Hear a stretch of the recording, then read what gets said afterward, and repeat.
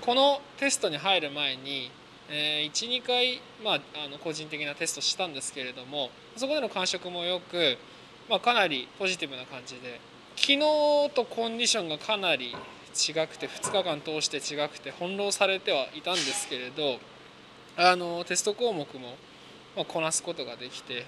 えー、非常に有意義な2日間でした。手応えはあります。結構あるんですけれどやっぱりこう結果で見るとどうしても前セッションでトップ取れなかったのでずっと2番か3番にいたので、まあ、そこはちょっと悔しい部分ではありますね。ただまあ決勝というかレースウィークに向けてはかなり流れ作れていてあの組み立てもできているんで正直自信はあります。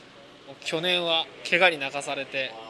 散々なレースで実は、え、大晦日に足また折ってまして、はい、そんな ま開幕というか2021年のスタートだったんですけれども、まあ、今はまあ去年以上にスタいい好スタートを切ることができていて、えー、ま結果もま2番と、まあ、自信もついております。まあ、自分らしいま、ガツガツしたレース展開を皆さんにお見せできるように開幕戦から頑張りますので皆さん応援よろしくお願いします。